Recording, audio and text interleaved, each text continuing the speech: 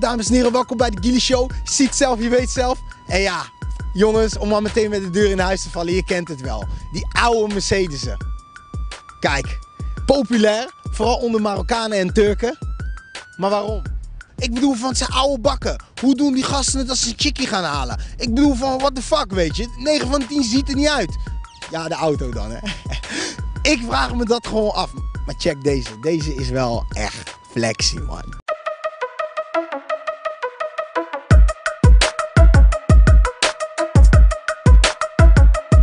Yo, ik sta hier met Appie. Appie, waarom Mercedes diesel? Ja, kwaliteit toch? Alles. Kwaliteit, eh, uiterlijk, grote auto, luxe auto, Duitse auto. Wat wil je nog meer? Ja, is het ook zo dat de oude diesels fijner rijden als, als de wat nieuwere? Of is het gewoon echt puur om de belasting? Nou, het comfortabel rijdt hij wel. Het maakt wel meer lawaai, geluid. Ja, net een tractor. motor, Ja, net een tractorretje, zeg maar.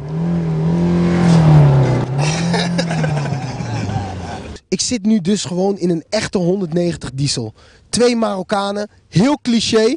En jongens, vertel mij nou eens waarom altijd die oude pleuris diesels? Dat, eh, dat zit in het eh, Marokkaanse bloed. Dat begint al vanaf eh, de jaren 80. Dan heb je onze vaders met de 190 betrouwbare auto. En dan vraag je je vader welke auto zal ik halen. En dan zegt hij 190. Hij rijdt lekker, eh, onopvallend, eh, zuinig. Ja, wat wil je nog meer?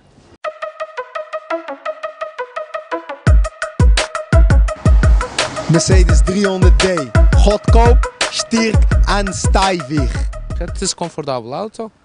En belastingvrij. Wat wil je nog meer? Ik wil heel graag van u weten, wat vindt u nou ervan dat de Marokkaanse gemeenschap en de Turken in al die oude Mercedes diesels altijd maar rondrijden?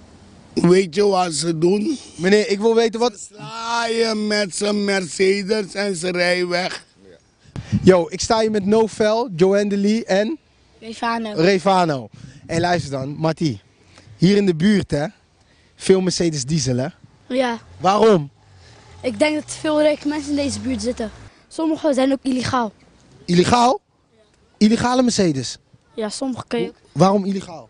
sommige kun je uit andere landen halen terwijl je, terwijl je voor nep, neppe kenteken zet en zo. Hoe zet je neppe kenteken? Gewoon een kenteken die, die, eh, die niet bestaat.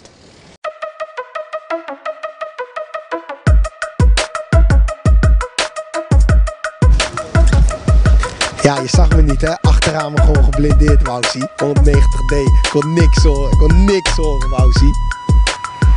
Waarom zijn die achterramen nou altijd geblindeerd van jullie? Ja, deze niet, maar vaak zijn met gordijntjes. Vertel even. Eén Mogen we de vrouwen niet zien of zo? Of...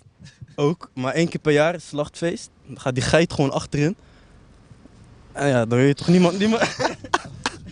Hé, hey, maar we gaan weer uitstappen. We gaan uit de, uit de legendarische 190. Oh. Yo, dit was Gilly Sneaky vanuit Rotterdam. Ja, je hebt het gezien man. Mercedes diesel, gewoon populair. Ze zijn goedkoop, sterk en stevig.